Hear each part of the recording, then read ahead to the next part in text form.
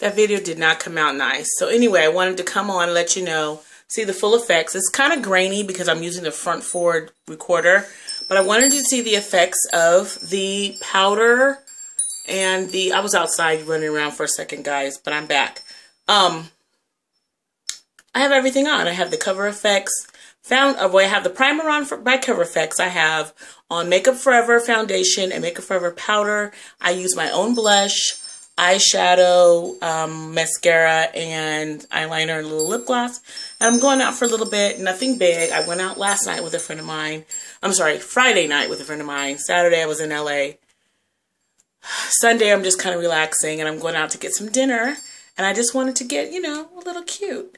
But I just washed my hair.